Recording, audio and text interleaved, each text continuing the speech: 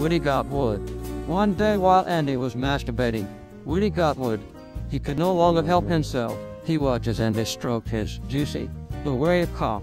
He approached Andy, which startled him and made him pee everywhere on the floor and on Woody too. Being drenched in his urine made him harder than ever, Andy Senpai.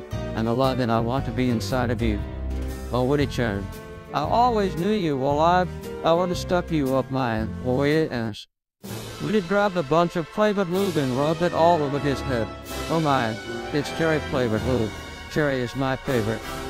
Woody then stuck his head up into Andy's tight ass. The other toys around the room watched intently as Woody shoved his head back and forth into Andy's nice ass, continuously making a squishy noise. The other toys also became aroused and they all gathered around Woody and Andy and started to urinate all over them, and then they started to masturbate.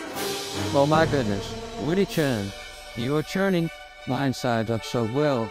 Your nose is stimulating my prostate. Oh yes, besides.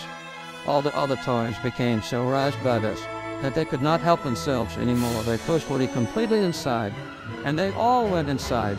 All of them wanted to be inside Andy's nice, round ass. No, wait, guys.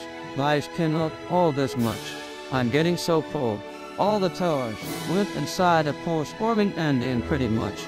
He was beyond full, and died from having his insides completely damaged. The mother came inside and found Andy, dead with a huge hemorrhage on his anus, with a huge belly full of toys.